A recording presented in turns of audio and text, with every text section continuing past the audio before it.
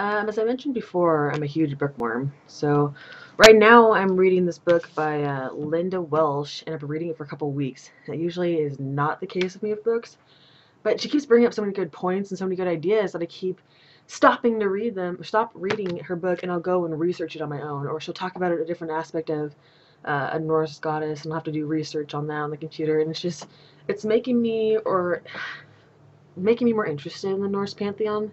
Even though I do consider myself an animist who just practices folk magic, I still really like the Norse pantheon. And um, I don't really work with any of the deities. I do love Frau Holdish, not part of the Norse pantheon, but I don't worship her. I I honor her in a way, but I see it seems like in the Norse path that the the gods are more of our ancestors. They're our kin compared to a divine being that we must worship and offer all these different things to. It's just my interpretation. I don't know if uh, how many Norse uh, different groups will uh, like he or Satru and there's one that I can never pronounce. It's like Ermin something. I'm really bad at pronunciation. Okay, sorry for the the cut off. I don't know how to make transitions, and my you can keep getting dressed. It's okay. My little sister just got out of the bath, so she came in here to ask for jammies, and she freaked out that the camera was on. Um, I totally lost what I was saying, but um, so I see them more as like family and kin than um, something to be worshipped. So um, if I was to work with them more, I'd see them just as like it's sort of an ancestor worship compared to a like I devoted myself to this goddess and I have to only work with her and give her these things and ask for her and he just saw my little sister walk by. She's so cute.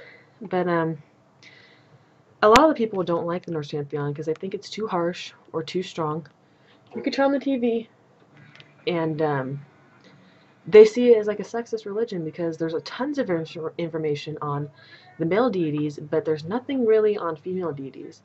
Well, in this book, this one right here, that my mom got me for Yule, and I absolutely love, Goddess of the North by Lynda Welch. Um, she goes into different folk tales and fairy tales, and she also kind of tries to pull the goddess out of the uh, giantesses that are talked about in the different sagas and all that to try and find out what the primordial Norse goddess is. And she does a fantastic job I absolutely love this book. I'm going to be reread it and reread it until I, like I can recite it. And I keep recommending it, even on my face, my personal Facebook page, my Facebook fan page for my Etsy site, my Facebook page for Frau Holda. I, I just keep pushing it because it's it's it's a badass book. That's that's just it. I hope she writes more.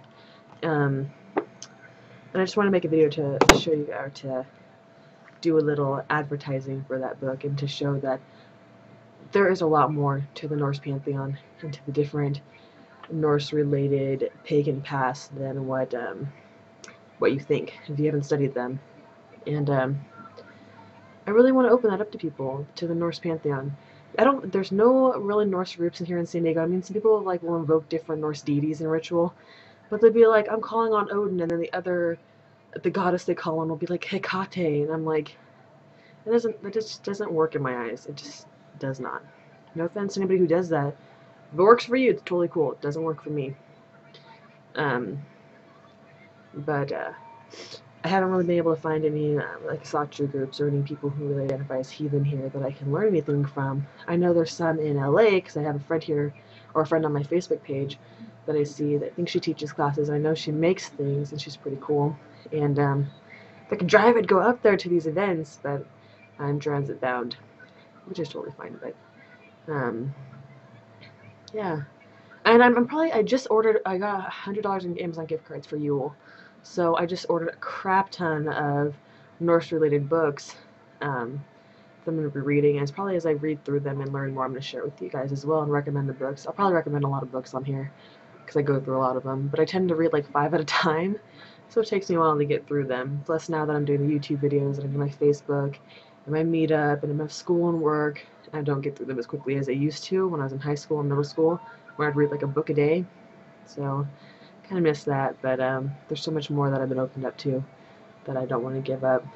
And um, yeah, I'm, I'm, about to do another video on um, right after this one on uh, books about folk magic. I have a couple that I wanted to share, so if you like this video, then you can stay tuned for my next one. Thanks.